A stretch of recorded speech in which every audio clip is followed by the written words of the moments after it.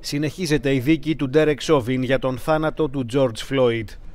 Οι πρώην συνάδελφοι του κατηγορουμένου υποστηρίζουν πως έπρεπε να έχει διακόψει νωρίτερα την ακινητοποίηση του υπόπτου. Ο επικεφαλής της αστυνομίας της Μινεάπολης κάνει λόγο για βία απολύτως αδικαιολόγητη. What is your Ποια είναι η άποψή σας για την χρήση βίας κατά τη διάρκεια αυτού του περιστατικού; that use of force? Απολύτως αδικαιολόγητη και μη απαραίτητη. Sorry.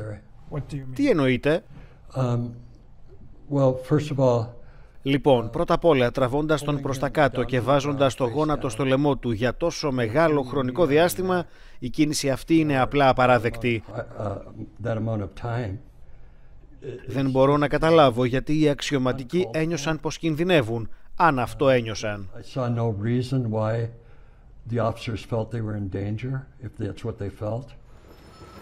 Η υπεράσπιση του Ντέρεκ Σόβιν επιμένει ότι ο κατηγορούμενος έπραξε με βάση την εκπαίδευσή του και πως σε καμία περίπτωση δεν μπορούσε να γνωρίζει το πώς θα εξελιχθεί η σύλληψη.